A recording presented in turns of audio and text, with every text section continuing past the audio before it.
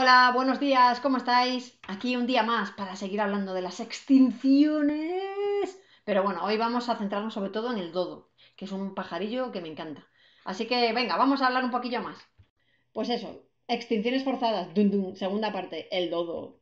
Bueno, ya el otro día estuvimos hablando un poco de la historia de la Tierra, de que había habido extinciones masivas, que se consideraban así, pero que esas eran de origen natural, que los geólogos y los eh, paleontólogos las tienen muy catalogadas y se había visto un poco todo lo que había pasado durante todos esos periodos. Aquí los veis, el ático, el arcaico, el protozoico, el paleozoico, el mesozoico. Bueno, pues ahí en esos periodos hubo un montón de eventos. Hubo lluvias de meteoritos, incrementos de temperaturas bestiales, los gases cambiaban completamente la composición de la atmósfera continuamente, había metano en la atmósfera, había más CO2, había exceso de oxígeno, que también pasó cuando la fotosíntesis empezó a lo bestia, había lluvia ácida, y además hubo unas extincioncillas que causaron que el 95% de los eh, organismos que vivían en ese momento en el planeta, ¡pum!, desaparecieran. ¿Qué os parece? ¿Eh? Casi nada, ¿verdad? Bueno, eso es lo que pasó. Fijaros en esta gráfica, aquí se ven todos esos periodos pa, pa, pa, pa, que os acabo de contar, y esto es solo para los géneros marinos la velocidad y la intensidad de extinción que sucedieron durante esos grandes cinco sucesos que tuvieron lugar en la Tierra.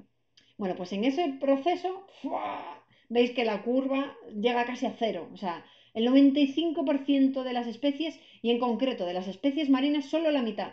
¿Por qué creéis que resistieron? Pues por estar metidos en ese mar que había ahí, ¿vale? Que no es el mar que tenemos hoy en día. Porque el mar de hoy en día tiene otras, otra composición y otra, otra organización y además otra, otro grupo de animales que viven ahí, y plantas, y algas, y de todo. Bueno, pues vamos a por el dodo.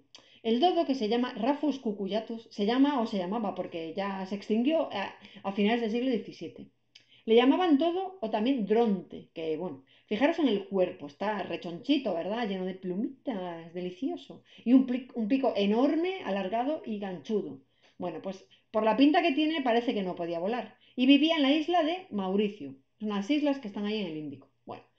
Este, eh, para los biólogos y para los ecólogos, se considera el arquetipo de especie extinta causada por los seres humanos. Fijaros que durante, ya lo vimos el otro día, que la MOA desapareció en el 1500 y ahí nadie tenía una conciencia de que se estaban desapareciendo ni nada. Pero ya más adelante veis que sí que ya existía eso. Entonces, ¿qué pasó?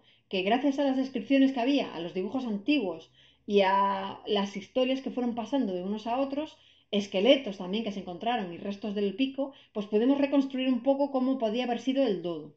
Y nosotros cuando conquistamos esa isla, cuando llegamos a la isla, la, isla Mauricio, en solo 100 años que los humanos llegamos a esa isla, conseguimos que el dodo desapareciese por, por completo. O sea que fijaros, que tenemos una capacidad extinguidora a tope. Y aquí veis un esqueleto que se conserva. Fijaros qué pedazo de huesos que tiene, qué fémures, qué patorras. la cabeza también. Bueno, veis que era un ave bastante potente. Y se le llamaba dodo, se cree que era por el reclamo que tenía, que era como... Bueno, pero esto me lo estoy inventando, porque si no se conserva, ¿quién se va a acordar de cómo, de cómo, de cómo era el canto? Bueno, pues alguien a lo mejor lo dató, alguien escribió el reclamo cuando sonaba, sonaba como dodo, ¿vale? Pero nadie lo grabó en una cinta, ni en un CD, ni en un MP3, ni en el Spotify, ¿vale? O sea, vais al Spotify y no está el canto del dodo. Y bueno, el último fue visto en 1662. Y a partir de que se fue ese, pues hasta luego, Lucas. Ya no queda nadie. Extintos. Y unos daños colateralillos que causó, que bueno, presuntamente causó, porque todavía está en estudio, pero por eso es el arquetipo de, animal extinto. Porque con él se llevó también eh, este árbol, el tambalacoque, o también llamado árbol del todo. Bueno, las aves, algunas de ellas ingieren muchas semillas y algunas de esas semillas se han adaptado a, que necesitan los ácidos del estómago de algunas aves y pasar por su tracto intestinal para que se deshaga la cubierta que tienen esas semillas y poder germinar. Pues este árbol y el dodo estaban bum, bum, bum, muy cerquilla, muy unidos. Bueno, pues esa unión les permitía beneficiarse mutuamente. El dodo comía los frutos y el árbol permitía que sus semillas germinasen. ¿Qué pasó cuando desapareció el dodo? Pues que el tambalacoque o árbol del dodo, menos mal que tiene el segundo nombre que es más fácil, pues ese árbol también se extinguió. Así que fijaros que esta, eh, a veces tienen consecuencias lo que hacemos, o casi siempre. Y bueno, ya para ir concentrándonos en lo interesante de esto. El dodo es un, animal famosillo. Eh, no todo el mundo puede aparecer en un capítulo del libro de Alicia en el País de las Maravillas. Pues el dodo sí aparece en el capítulo 3.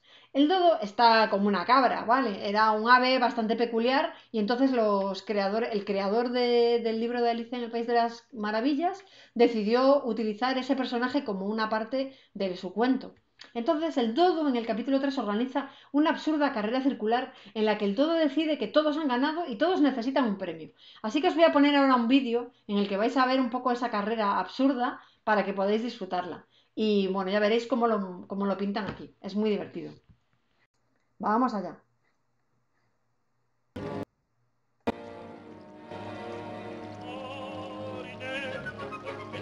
Así que lavarme y en la mar viví y yo nunca me mareo pues me gusta el bamboleo porque yo soy marinero y en la mar nací marinero soy en la mar nací y yo nunca me mareo ¡Allá! o como dijo Colón ¡Tierra a la vista! ¿Hacia dónde, yo ¿Todo? A estribor tres grados, a bogar remeros, llevamos viento en popa. ¡Oh!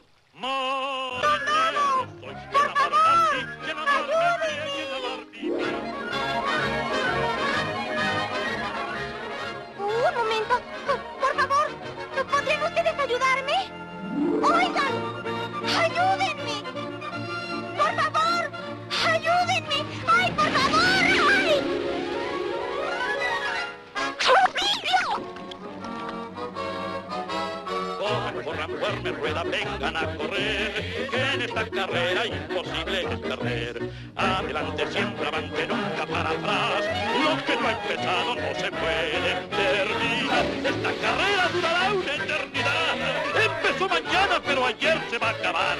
Vuelta y vuelta y vuelta Veis que está un poquillo loquillo, ¿verdad? Pero la, la cancioncilla es pegadiza, así que nada, si queréis verlo hasta el final podéis seguir y a seguir disfrutando. Y con todo esto, pues nada, os quería recordar un poco todo lo que hemos conseguido como seres humanos con los cambios que hemos introducido en el planeta. Algunas cosas que hacemos también son buenas, ¿verdad?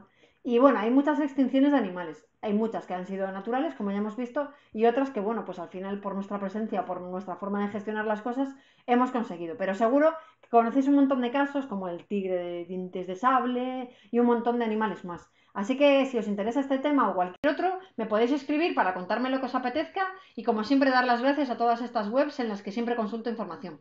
Venga, un abrazo a todos y hasta pronto.